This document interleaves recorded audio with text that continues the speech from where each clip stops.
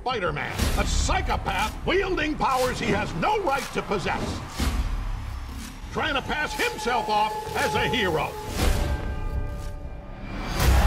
You are a criminal, a miscreant, a menace. Kept my identity pretty guarded this past couple years.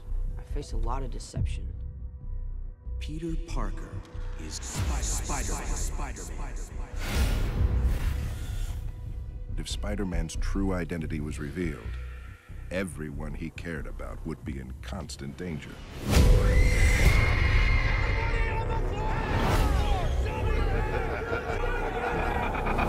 My name is Sergei Kravinoff. Men call me Kraven the Hunter.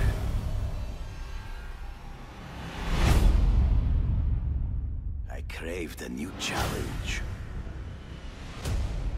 Without honor, Peter, the hunt means nothing.